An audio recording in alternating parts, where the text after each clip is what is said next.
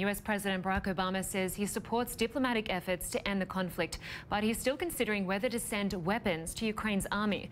Mr. Obama met Monday in Washington with German Chancellor Angela Merkel, who warned that arming Ukraine could cause Russia to escalate the conflict.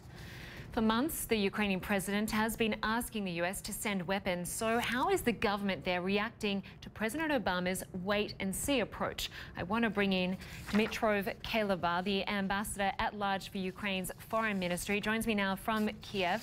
Thanks so much for your time. Firstly, what do you make? Good.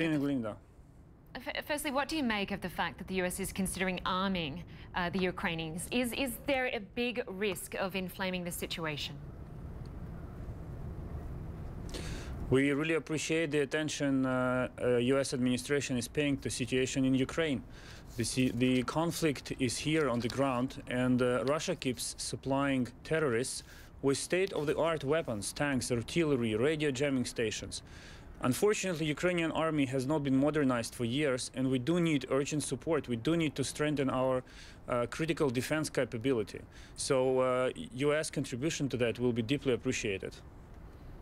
Uh, so, so obviously you want it. What do you make of the fact that uh, European nations, uh, European leaders, especially from obviously Germany and France, think that this will create a bigger problem on the ground?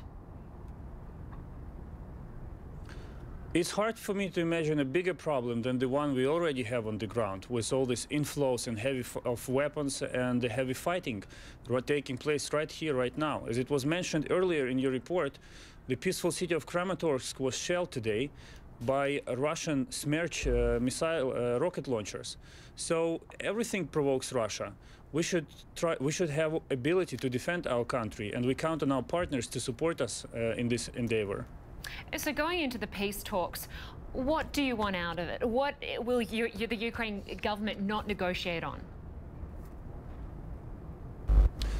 Uh, we want ceasefire. Ceasefire is urgent. There is too much blood, too much sufferings. We need ceasefire that Russia and terrorists will support. Uh, our strategic goal, of course, is uh, to ensure territorial integrity of Ukraine, and this question will never be compromised. This will never come under discussion. We will not accept any attempt to change, to destroy territorial integrity of Ukraine. And the second thing is European choice of Ukrainians. We paid a high price for that and we want to build a society built on, uh, built on values and principles uh, on which the European Union is built. These things will never be discussed. These are the red lines we're not ready to cross. Uh, so what concessions are you willing to make to the anti-Kiev forces? Like, what are you willing to give up in order to, to get an agreement?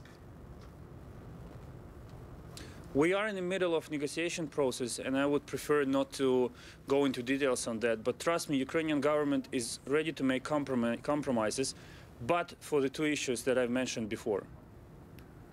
And so, given that obviously Russia is a neighbour of yours, no matter how these talks fare and, and, no matter how the outcome is, do you think you are going to have problems with Russia going forward, long term?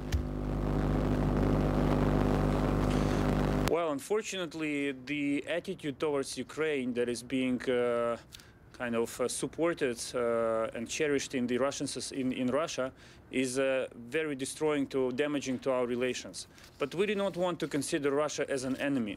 All we want is Russia to stop aggression against Ukraine and to pave the way for de-escalation.